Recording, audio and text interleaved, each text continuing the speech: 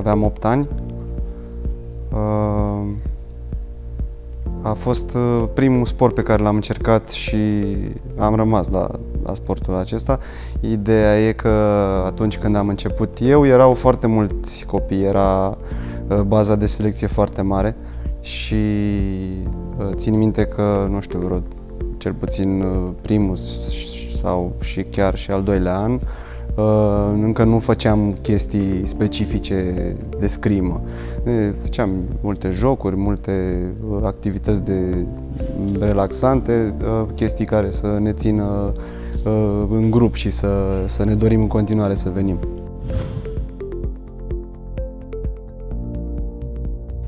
Au fost mai mulți factori care m-au făcut să, să merg spre performanță. Asta uh, în jurul vârstei de 15 ani mi-am dat seama că, că vreau să fac uh, scrima la modul profesionist și de performanță. A fost un campionat național de, de, de speranțe. Uh, nu îmi dădeam prea multe șanse și totuși a ieșit bine, ca să zic așa. Uh, și antrenorii mei de atunci de la, de la Slobozia, domnul Marian Cruțu și uh, domnul Marius Pușcașu m-au uh, făcut să, să vreau să, să continui. Am intrat în grupa de performanță, cum, cum se spunea atunci, și de, mi-am dorit uh, să, să, să fiu din ce în ce mai bun. Apoi, iar în, pe la 17 ani, tot așa, Uh, făcusem o operație de apendicită și la două săptămâni am fost la campionatul național de junior și am ieșit pe, pe locul 2. Um, au venit oameni din federație atunci la mine și mi-au spus că e bine și că ar fi ok să continui. Și de atunci a fost numai bine, ca să zic așa. Scrima m-a făcut în primul rând să uh, prețuiesc foarte mult uh, munca, să, să muncesc pentru, pentru tot ce, ce am sau voi avea.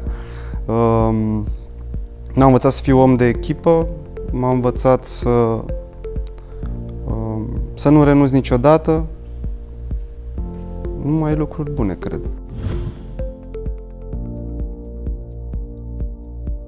Viteza de reacție uh,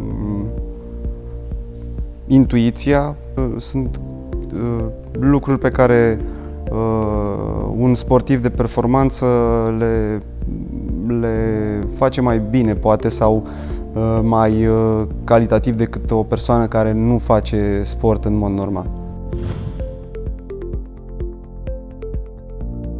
Au fost câteva, da. Uh, tocmai ziceam că Uh, la vârsta de 15 ani nu aveam uh, prea mari așteptări de la mine. Uh, aveam și niște probleme cu, cu greutatea așa, și am zis că bă, ar trebui să, să poate să, să fac altceva sau să continui să învăț la școală și nu știu, voi vedea. Dar am trecut peste acel moment. Au fost momente și de curând când am vrut să, să renunț, dar am zis că trebuie să fac chestia asta până la capăt și dacă nu iese exact așa cum vreau eu, măcar să fiu împăcat cu gândul că am făcut, am încercat totul pentru, pentru treaba asta.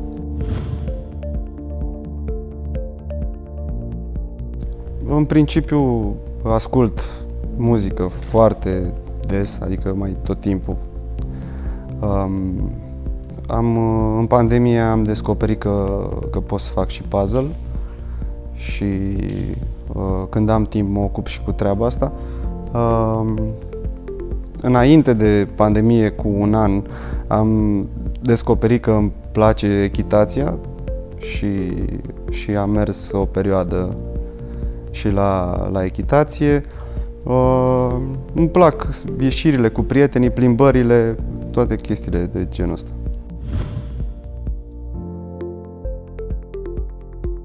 Când ajungi la o competiție importantă, trebuie să fii bine din toate punctele de vedere. Adică nu poți să zici că ai uh, ești pregătit 100% fizic, dar tu uh, psihic nu ești ok sau nu ești ok uh, din punct de vedere tehnic, tactic și așa mai departe. Um, ideea e că trebuie să, să le ai pe toate, să, să poți să, să te gândești că ai putea să iei o medalie. Medalia niciodată nu e sigură, așa că... Cred că prin nu știu sigur să zic. Um, lucrăm foarte mult cu psihologul uh, și cel puțin pe mine m-a ajutat foarte mult, mai ales în, în uh, ultima perioadă. Uh, sunt uh, niște tehnici de respirație pe care le facem, care ajută uh, să ne ajută să eliminăm tensiunea din corp și să fii uh, prezent atunci când, când ai un asalt mai greu sau un moment mai greu în, într-un, într-un asalt. Um, în perioadele precompetiționale trebuie să faci și lucruri un pic uh, diferite decât, decât uh, doar, doar scrim, adică, nu știu, uh, alte tipuri de antrenament. De exemplu, am făcut de curând un, ceva yoga, am făcut Astăzi tot așa am făcut ceva diferit. Ideea e că nu trebuie să te plictisești de ce faci în mod normal și oricum să ajungi să, să simți o monotonie, dar diferite uh, tipuri de antrenament extra scrim ajută. Dacă vorbim de perioada aceea și cum am scăpat de, de kilogramele în plus, ideea e că am muncit foarte mult fizic, îmi, îmi calculam mesele și caloriile, începusem să mi le calculez la perioada aia.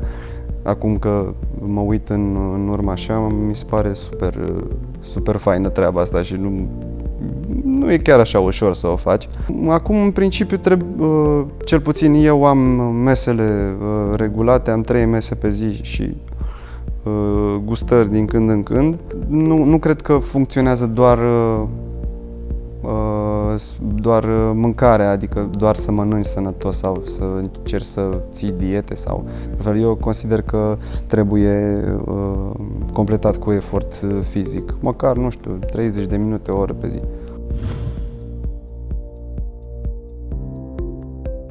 Nu, nu pot să zic că am regrete, eu știam, știam ce voiam să fac și îmi, îmi organizam timpul în așa fel încât să-mi iasă uh, să-mi iasă antrenamentele, să...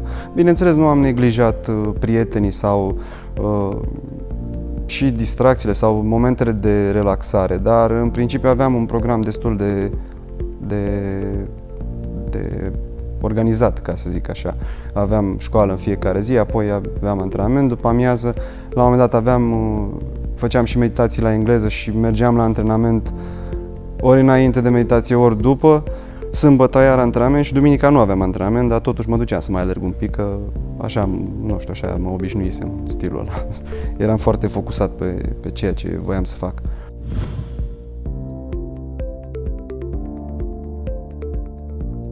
A fost o perioadă în care mergeam la uh, concursurile de cupă mondială, zic acum, nu știu, un an, doi.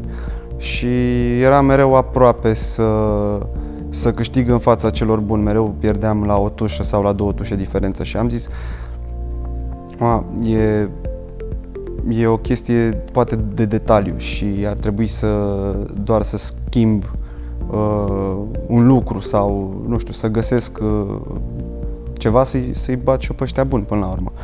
Și se pare că nu am, nu am așteptat degeaba sau n-am avut răbdare degeaba și lucrurile merg într-o direcție bună acum. Sincer, eu cred că pe mine m-a ajutat un pic perioada asta a pandemiei. Eu venisem după o accidentare și n-am avut timp să mă refac uh, complet. Um, mergeam la concursul, trebuia să ajut echipa să, să încercăm să ne calificăm la Olimpiadă și uh, aveam încă dureri,